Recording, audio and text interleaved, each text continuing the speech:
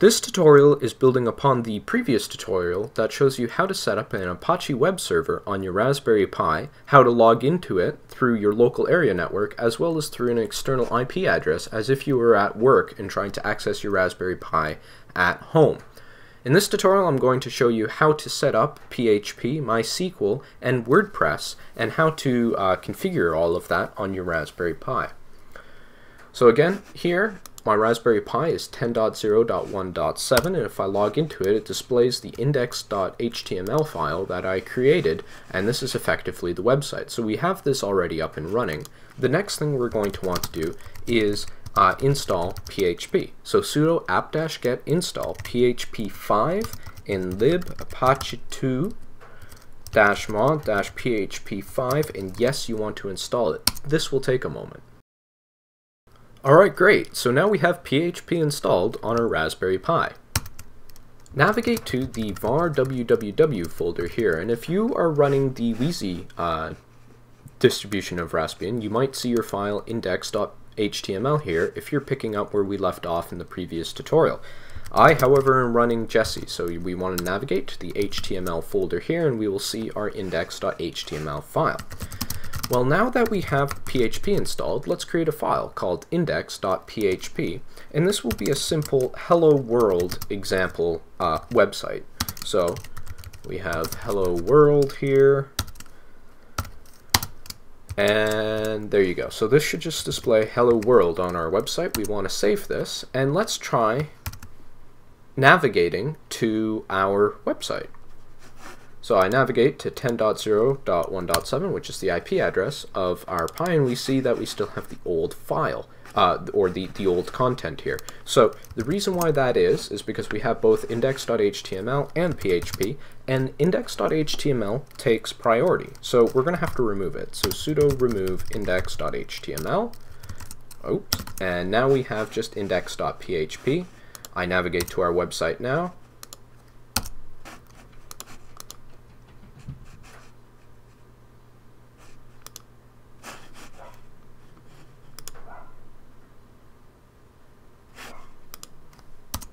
There, if I clear my cache, it shows hello world when I log into the direct uh, IP address. So I guess I just had the old content index.html cached there.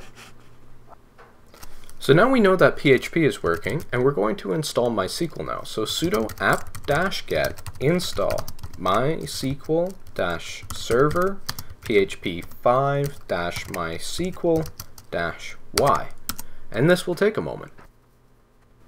Part of the installation will prompt you to set up a password for your MySQL root user. Now I'm just going to use the password raspberry because that's the standard password for everything Raspberry Pi. We then hit OK and then it's going to prompt you to repeat your password so I'm using raspberry and then it will proceed with the rest of the installation.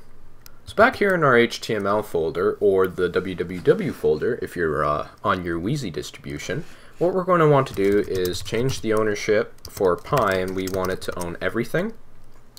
And then we're going to remove everything from this folder. So now we have an empty HTML folder here. Next, we're going to download the latest version of WordPress. So type in wget http uh, colon slash slash wordpress.org slash latest dot tar dot gz or you can just click the link in the description and download from there. So now we should have only one file in our HTML folder here, and that's latest.tar.gz. Well, it's a tar file, so we're going to have to extract it. So tar zxf latest.tar.gz.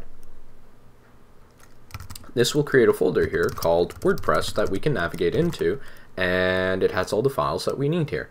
Now when we visit our IP address of our Raspberry Pi, we don't want to then type in slash WordPress and then access WordPress. We want it to just default to the WordPress um, uh, site.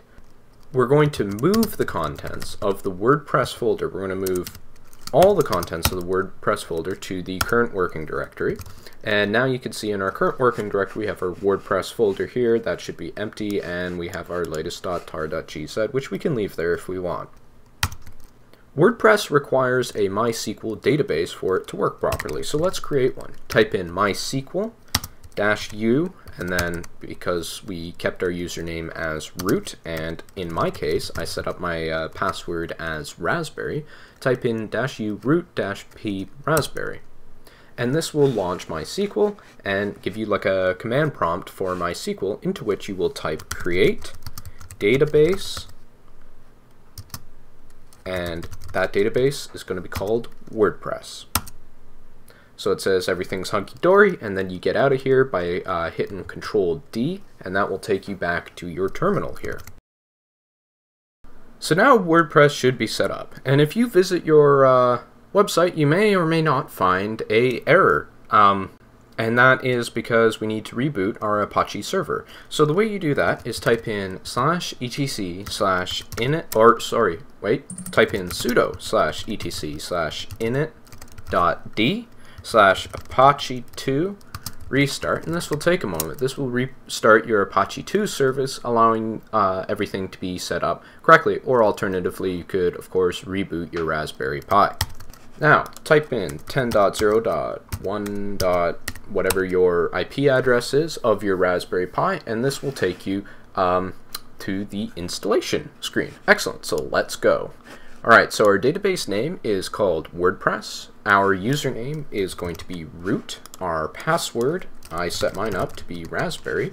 We want the localhost database host and w underscore, um, oh, sorry, wp underscore for our table prefix. So hit submit and this will give you an error.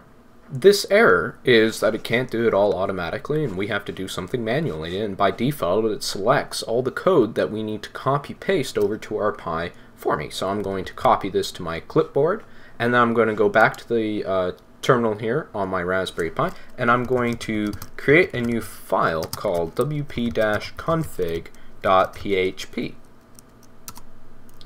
and then I will just paste all of that copied off of um, off of the uh, of the website there, and then I'll exit out, and I will give this a save. Now, if I try to go to this site here, so it, so it says after you've done that, click run the install. So I'll run the install now, and it'll set me up here. So great. Let's call. Uh, let's name this Zan's Playground because why not? I'll keep the username as root and I'll keep the password as raspberry. Confirm use of weak password and then an email, so the zanshow at gmail.com, why not? Please don't use it for yourself. And then allow search engines to index this site. I'm going to pass on that for now. And then I will install WordPress. Alright, there we have it. So login username is root, password is raspberry. You can change yours, of course, if you want and I will log in as root with my password being raspberry. Uh, remember me. Log in. And there you have it. So here's WordPress on your Raspberry Pi. If I go to, if I actually visit my site here, we see that it looks really bland and boring. And I have a certain WordPress theme here, and maybe I want to change that, right? Well, an easy way to change it is I can change my theme completely and I can add a new theme and let's look at something that's popular here something that I don't have uh, something that looks different Vantage okay sure so let's take a look at this one here and we go oh yes this looks really good let's uh, let's install that I hit install here and what's gonna happen is it's going to fail. It's going to say that you need connection information and all this kind of stuff, and this is going to limit your ability to use the WordPress package. So how do you change that? Well, navigate back to the terminal here on your Raspberry Pi, and in the folder that everything is hosted in, just type in sudo change the ownership for everything, and www.data colon www. Uh, dash data, I should say, slash var, and then the folder that everything is kept in. In this case, it will be the HTML folder. So that will change that. And now, let's go back and try, oops. Let's go back to our dashboard and let's try changing the theme completely and adding a new theme and uh, let's see, uh, let's do this one. So we're gonna check this one out. We see that we like it We install it. And there we go. So now it's downloading the install package, it's installing the theme, and everything has been successfully installed. So now I can go back. I can change my theme up if I want to my new theme. Save it and activate it. And there you have it. So now my theme has been changed um, for my WordPress account. And that's all there is to it. Setting up a WordPress on your Raspberry Pi, hosting it, and being able to access it over your local area network or your external IP address. I hope you enjoyed this tutorial.